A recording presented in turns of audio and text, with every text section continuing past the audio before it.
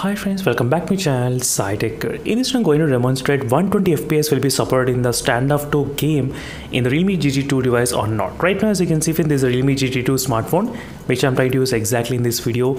The main reason is because the Realme GT2 device right now it is not supported with the high refresh rate games and some of the users they want to know whether standoff 2 game will be supported with the high refresh rate or not like 120 fps so right now i'm trying to select the refresh rate up to 120 fps as you can clearly see.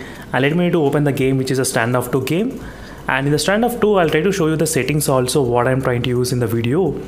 And these are the settings which I'm trying to use exactly so is another reason why I'm trying to do as well on the standoff 2 game because 120Hz high refresh rate games are not supported in the Realme GT2 device friends that's the main thing.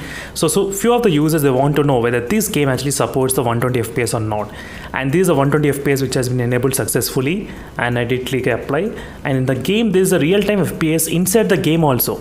Inside the game there is option. So while playing the game we will be able to monitor exactly what's going on. But let's enable the Realme's real-time FPS and then we'll try to see the match what's happening. But right now i'm getting only 60 fps so overall friends the standoff 2 game only plays at 60 fps in this 120 hertz refresh rate mobile phone. Something kind of uh, sad part i would say at this moment but so if you use a SetEdit application and some other alternate applications only then you will be able to get that kind of high refresh rate advantage in this realme gt2 device. That's kind of something to be noted.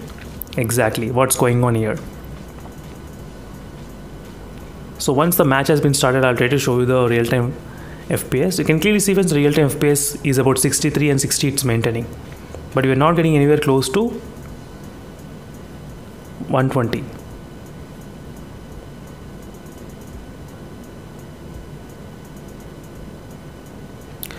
That's it friends, thank you for watching the quick demonstration on the standoff 2 game in the Realme GT2 device 120 fps support or not. So overall it's not supported unfortunately in this Realme GT2 device with the high refresh rate games. Meanwhile signing off friends thank you for watching. I'll instead of more updates and bye